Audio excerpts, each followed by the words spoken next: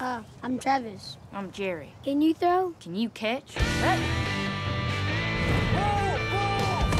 Touchdown, Travis Freeman. I didn't cheat. You copied off my paper. Yeah, off of you. That's friends. Don't count. Whoa.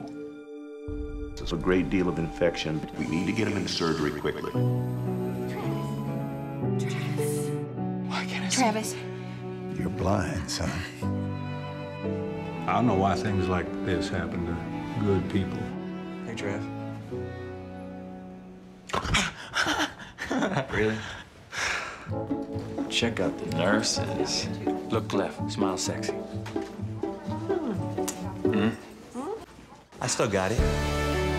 It's been almost three months and he's barely left his room. I'm Patty Wheatley, Travis's mobility coach. Feel the texture? Keep your arm out straight. Why? There won't be anybody to guide you. I don't want any special treatment. My man. Travis, I'm thinking you should come back on the team. They can't catch the ball. So you're gonna have to play center. You're not a gazelle anymore. You're a pit bull. It's Gonna be a long season.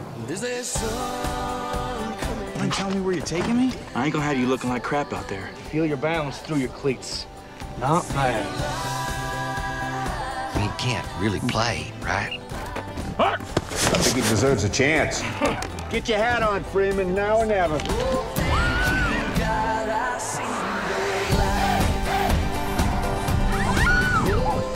Oh, hey there, Mr. Duncan. I almost didn't see you.